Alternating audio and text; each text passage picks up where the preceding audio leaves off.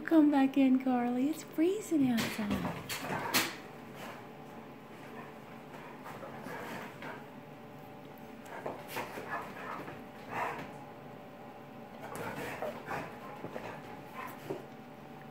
You get him, girl. Uh-oh, who's waking up? Hello, Max.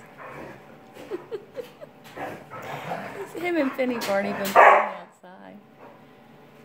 Him and Finny played outside earlier. That was good. Oh, look at Carl.